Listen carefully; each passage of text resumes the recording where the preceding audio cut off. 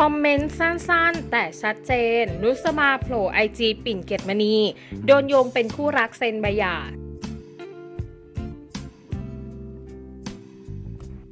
กลายเป็นประเด็นใหญ่ในโลกโซเชียลค่ะ เมื่อมีคำใบ้ในเพจจับโป๊ะดารา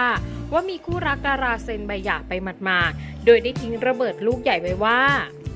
ผัวตัวดีเวลาออกไปข้างนอกก็ยังไม่เลิกเจ้าชู้ เมียรู้จับได้ก็จบทันที อยากอาสาดูแลลูกชายทั้ง 3 ให้เอง ซึ่งหลายคนค่ะโยงไปที่คู่รักดาราดังหลายคู่ หนึ่งในคู่นั้นก็คือคุณเจเจตริน และคุณปิ่นเกตมณีโดยหลังจากนั้นค่ะสาวปิ่นนั้นก็ได้โพสต์แคปชั่นผ่านทาง IG ว่า